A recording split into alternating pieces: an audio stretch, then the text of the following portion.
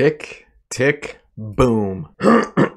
Tick Tick Boom is the story of Jonathan Larson, who's played by Andrew Garfield, and is a 29 year old musical writer living in New York City. John has been writing a rock musical called Superbia for the last eight years in the hopes of getting it in front of a producer that will fund it and help him make the big time. However, John feels like the world is crashing around him as he's one week away from turning 30 and feels like he doesn't have enough to show for his existence. And as John pursues his dreams, he's got to deal with his friends, his family, his obsession with Superbia, and all the other goals and aspirations that he has. And we have our movie. Let me tell you, I am so mad at myself for not watching this movie in 2021 because this would have easily been in my top three for that year. However, now that I have watched it, I can tell you with full confidence that this movie is really damn good. The excellent storytelling elements combined with the really catchy musical numbers make this a full-fledged excellent experience. And I'm not typically one for musicals, but this movie had me enthralled for the entire runtime. It's so much fun watching John Larson pursue his dreams and struggle to achieve his goals. The movie paints a really interesting picture of what it's like to be a starving artist who's living in New York City and trying to make it to the big stage. And it truly embodies just what it takes to be successful in that regard. And the entire cast showcases a ton of talent, especially in the vocal area of things. And the musical numbers are all delivered with purpose, and they help drive the plot along or convey certain messages within the movie. So let's start off with what I really enjoyed about this movie. Tick Tick Boom is ludicrously entertaining. There are stellar performances, especially from Andrew Garfield, really catchy musical numbers, and a riveting story that make this a complete and exciting experience. This movie has a consistent, steady, and natural cadence that sort of shifts from story and plotline to musical number without feeling too overbearing on one side or the other. You get a steady dose of John Larson's story, which has a lot of heart, followed by a really catchy musical number that really drives the points home. These musical numbers have a really great way of conveying what John and other characters are feeling in these gigantic moments. And you not only get this from John Larson, but also his best friend Michael, who's a really great supplement to this movie. You not only get stellar acting and a great story, but you also get to hear some very talented people belt out some amazing music. You would be very hard pressed to find dull moments in this movie. Also, the relationship and friendship between John and Michael is extremely captivating. As a struggling artist, John has the loving support of his best friend Michael, who serves as an excellent juxtaposition to this movie. John, on one hand, lives a largely unstable, unsure life, but on the other hand, he's balanced out through Michael, who has a job, a steady income, and enjoys the finer things in life. And the friendship not only serves as a great medium for conveying the film's most important messages, but it also serves as the emotional anchor. John and Michael's friendship is extremely believable, which adds a lot of stakes to the milestones that they endure throughout the film. It's easy to adore and empathize for both of them, and it makes them really attractive to follow on screen. And lastly, this movie has some stellar musical numbers that are not overbearing. As someone who doesn't particularly love musicals, I'm always nervous and apprehensive going into them because if all they do is sing, that's not really much of a great film for me. However, this movie's musical numbers managed to make me fall in love and get deeper into the story rather than the other way around. I enjoyed a lot of the songs and even immediately downloaded them on Spotify right after the movie. They're excellently written and showcase some stellar vocal talent. And along those lines, the movie strikes a really fine balance between plot and song, meaning that you'll get some dialogue throughout the film and then just when the big moments are coming to a head, they play a song in order to help drive the bigger points home. And that's great because it allows you to bask in the most significant points of the movie without just breezing by them way too quickly. Now, what did I not like so much about this movie? For me, the movie ended way too abruptly, and I feel like it could have told more of John Larson's story. The majority of this movie is spent with John while he's writing Superbia, which is only his first musical in a line of musicals that he ended up writing. However, just when you feel like you're approaching the final third of the movie, it just kind of ends pretty abruptly and you